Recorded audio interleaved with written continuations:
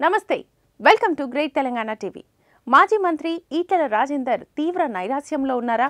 బీజేపీలో ఈటలకు మద్దతిచ్చే నాయకుడే లేకుండా పోయారా? టీఆర్ఎస్ సర్కార్ కక్షగట్టి తన భూములు పంచితే అదేంటి అని అడిగేవారే లేరా? మాజీ మంత్రి ఈటల రాజేందర్ భూదాహానికి వందలాది మంది చిన్న రైతులతో పాటు దళితులు కూడా బలయ్యారు.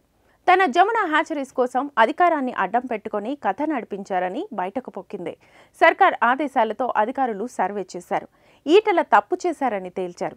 కోర్టు సూచన మేరకు సర్వేలు జరిపిన అధికారులు ఎవరి భూములు వారికి పంపిణీ చేసేశారు.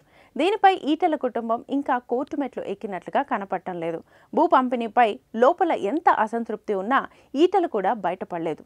కానీ విచిత్రంగా ఈ ఇష్యూపై బీజేపీ పూర్తిగా సైలెంట్గా ఉంది. ఈటల మాట్లాడకపోయినా బీజేపీ నేతలు ఎవరో ఒకరు స్పందిస్తారని అంతా అనుకున్నారు. కానీ చడి చప్పుడు లేదు. ఈటల రాజేందర్కు బీజేపీకి గ్యాప్ వచ్చిందని ఈ మధ్య ప్రచారం కూడా జరుగుతోంది. ముఖ్యంగా బండి సంజయ్కు ఈటలకు అస్సలు పడ్డం లేదని నేతలు కూడా బండి సంజయ్ని కాదని ఏమీ మాట్లాడడం లేదని బీజేపీ వర్గాల్లో జోరుగా ప్రచారం జరిగింది. ఇప్పుడు ఈటలకు సపోర్ట్గా బండి నోరు విప్పకపోయేసరికి ఆయన వర్గం కూడా సైలెంట్ అయింది. దీంతో ఈటల తీవ్ర నిరాశలో ఉన్నట్లుగా తెలుస్తోంది. ఇక బీజేపీ కోసం తాను కాలుకు బలపం కట్టుకుని మరీ నేతల చేరికలపై ఫోకస్ చేస్తుంటే బీజేపీ కనీసం తనకు వ్యక్తిగతంగా ఇబ్బంది అయినా స్పందించదా అని ఈటల సన్నిహితులు మండిపడుతున్నారట. ఇంత గౌరవం లేకుండా ఉంటే ఎలా?